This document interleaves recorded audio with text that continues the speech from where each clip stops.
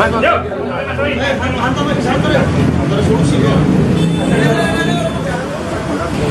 tapi ya kalau memang ada barang itu ada apa-apa dengan barang itu.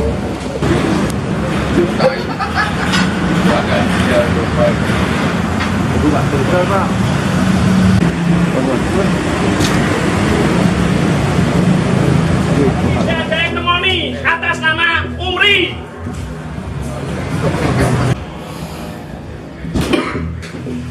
Ini kebetulan Pak Alek ini kuasa Sampai sini kan pakai petisi sampai sini kan jam 7 Ya. Nah, jam 7 itu eh, ternyata di tengah jalan itu ada apa kolektor eh, mobil bermasalah dengan leasing terus eh, mobil diminta Daerah mana Pak? eh, di daerah Demak katanya Eh, Jam berapa itu Pak Bray?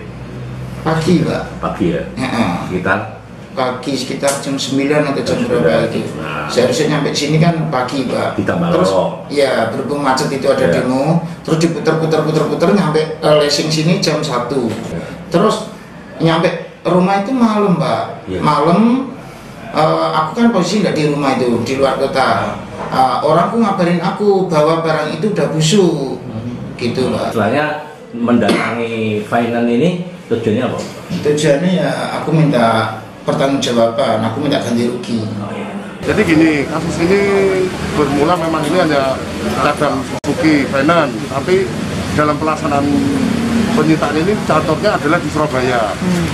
Dia menyita di Demak, kemudian dibawa ke sini untuk dititipkan. Dan saat dititipkan, terus tidak bertanggung jawab. Ini kan bahwa barang-barang ini harusnya dia kalau memang menyita itu sudah ada prosedurnya, ya. Dan ada suatu ketetapan penyitaan dari pengadilan juga harus ada. Itu harus di- diikuti semua administrasi harus diikuti tapi ini tidak ada kesalahan.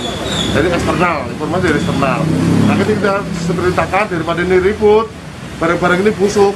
Silakan laporkan resmi secara resmi ke kepolisian. Ya mungkin masuk 368 nya kemudian dari pihak manajemen pun sudah diarahkan. Kalau anda tidak mendapatkan secara materi silakan ajukan keperdataannya